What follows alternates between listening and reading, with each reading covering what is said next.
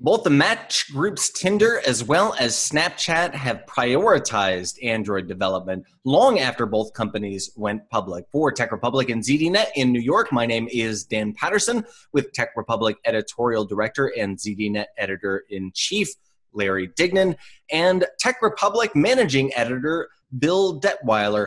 Bill, why are these companies prioritizing Android development now? Well, I mean, you basically can't ignore such a large segment of the market. I mean, it, it's really not uh, smart if Android has, say, 85% of the consumer uh, mobile market, especially in growing parts of the world. You know, iOS may dominate in North America and, and in uh, Europe, but in most of the rest of the world, Android is predominant. So, you know, it's just not smart business to ignore such a large portion of uh, your addressable audience. So, Larry, uh, in their earnings call recently, Snapchat CEO uh, said that Android development was a big priority for them. They're also redesigning the user interface to make the application more usable. This is a bit of a head scratcher. Yeah, it was it was weird. It was weird to hear it like, you know, and see it in text and hear it out loud. Um, but what's interesting, there are a few moving parts here that are interesting. I mean, one, when Snap was hatched, all of its engagement was on iOS, right? So that's where all the moving parts, that's where the user base was, and that's what they went for. And it worked out great as a private company. What was interesting though is that, you know, they kind of let their Android development slip, which I totally understand, right? Because anyone who's in the app business in any way knows that Android's a pain in the butt, right? You got all these variants out there, you got all the splintering off of different things, you got multiple devices to test on. You know, where Apple, it's got iOS and it's basically got, you know, one or two phones. Life's good. Um, so from a cost perspective and a development perspective, it totally makes sense to focus on iOS. The problem is, like Bill said, all the growth overseas is Android. So Snapchat's kind of hit this level where it needs to grow more. Um, and what they're doing is they're basically, you know, they launched a Q&A lab. They're testing all these different devices and different variants of Android, which I think they said on their conference calls like 60,000 different variants, which is kind of nutty in itself, but um, not surprising. And so basically, they're trying to get things like you know camera performance to improve because it's a lot slower than it is on iOS. Uh, the other thing they're trying to do is eliminate crashes, and it just struck me as odd. You know, from from a business perspective, it makes no sense at all. But from a from a developer perspective and focusing your resources on engineering, it doesn't look so dumb. And I thought this was kind of a weird thing, and you know, did some post on it and whatnot, and then you know, and then Match.com's Tinder uh, you know, Match.com reported earnings, and you know they're just killing it. And Tinder's a growth engine. And then once you start looking into their history, about a year ago, they went under this great, you know, they basically had to rewrite all their code, and they also started focusing on Android, much in the same way where Snap is today. Um, and they lowered crash rates a bunch and you know improved performance and shockingly you know usage went up on android um, so it's just interesting as these companies scale, you bet on that known horse, which is iOS. But if you want any kind of global reach and expansion, you got to go where the market share is. So it's, it's a conundrum I think every company is going to have to juggle. Could Tinder and Snap's uh, shift to Android be tied together, or are these independent moves? Uh, they are somewhat tied together in that Tinder was a startup that was bought by Match.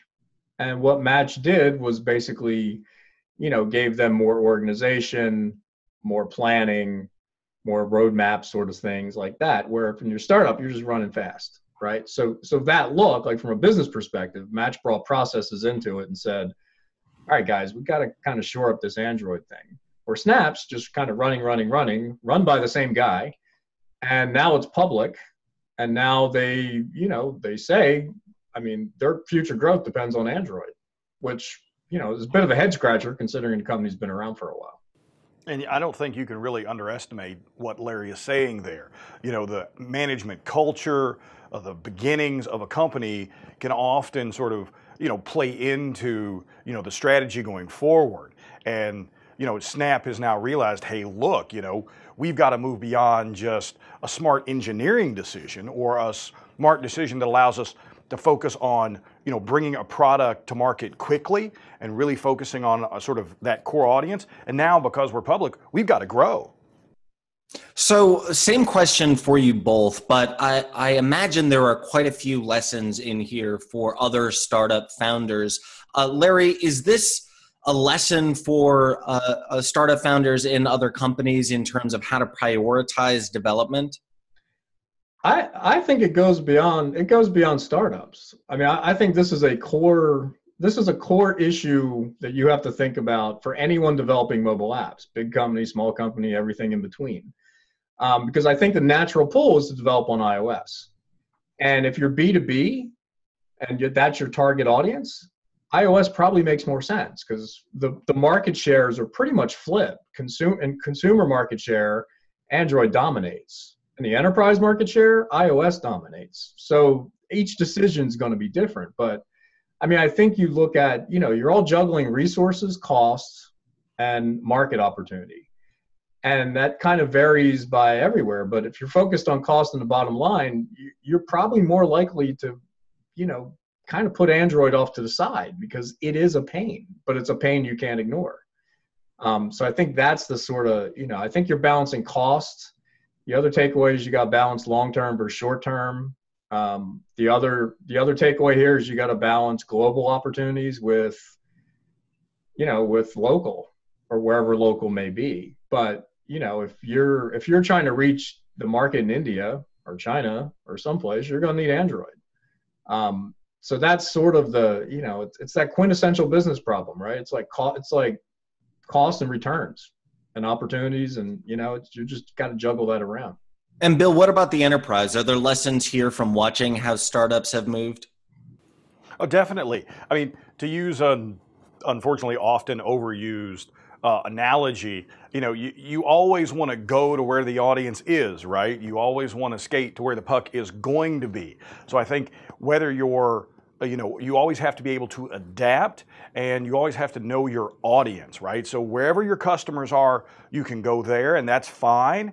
But over time, you really start needing, you really start um, to need to look at where your audience is going to be and where you uh, can grow into. And if that means you have to uh, abandon or at least modify or um, expand your engineering efforts or your product offerings, whatever that is, um, then then you need to do that, or you know you're going to be overtaken by the very next startup that comes out. All right, you can read Larry Dignan's entire story called Snapchat Gets Android Developer Religion Better Late Than Never by visiting ZDNet. And while you're there, make sure you subscribe to ZDNet's Next Big Thing newsletter for Larry Dignan and Bill Detwiler in New York. I'm Dan Patterson.